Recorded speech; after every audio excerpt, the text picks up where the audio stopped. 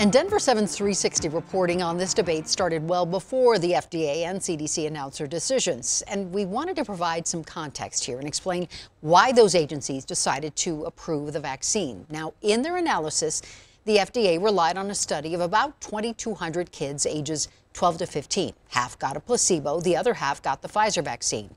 None of the vaccinated kids wound up with COVID, and the only side effects reported were mild ones like fatigue, headaches, chills, and aches.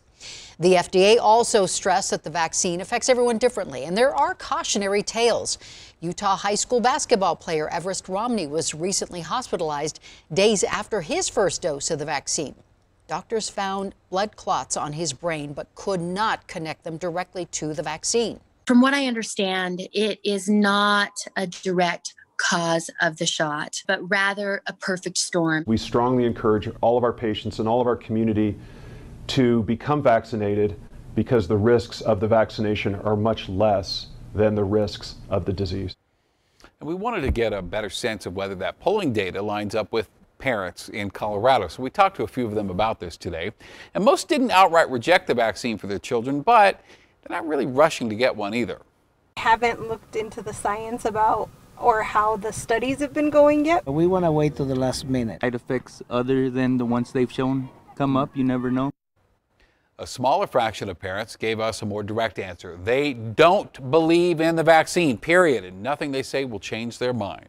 We have the choice, we have the freedom, and we can believe and and act to what we feel is best for ourselves.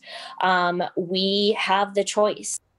And the CDC and FDA both say the dangers of getting COVID really outweigh the dangers of getting the vaccine. Case rates among 11 to 17 year olds are higher than any other age group in our state.